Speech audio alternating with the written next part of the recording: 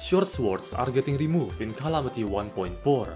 Yes, you heard that right. All of Calamity mod short swords are getting removed in the Calamity Terraria 1.4 port update.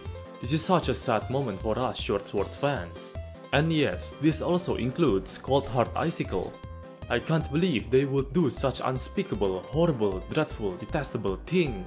Now, what do all three of us short sword fans use on our Calamity playthrough? Nah, just kidding. Although some of you short sword fans might be sad, here's the reason why they are removing short swords. TLDR, it is just removing weapon bloat. As some of you might already know, 1.4 short swords are essentially mini spears that can swing in every direction, essentially making them the same as any other projectile sword, which in return makes short swords less unique and worse version of spears.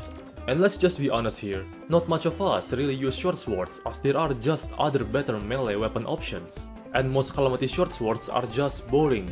They are just shorter version of their original form, with not much creativity or uniqueness put into it. Except you Exogladius, you're the best among short swords. One of the best endgame weapons too, especially against Supreme Calamitas. You're a masterpiece. Rest in peace Exogladius, you will be remembered. Let's build a memorial for Exogladius. Though I'm a bit sad that they are removing short swords, it's understandable why they would remove it, and lots of other weapons too. The reason behind it is to avoid weapon or content bloat. Too much of anything is bad. Which brings us to the question of the day. Would you rather have too much of mediocre low quality weapons, or fewer weapons that are high quality? Rest in peace short swords, you will be missed.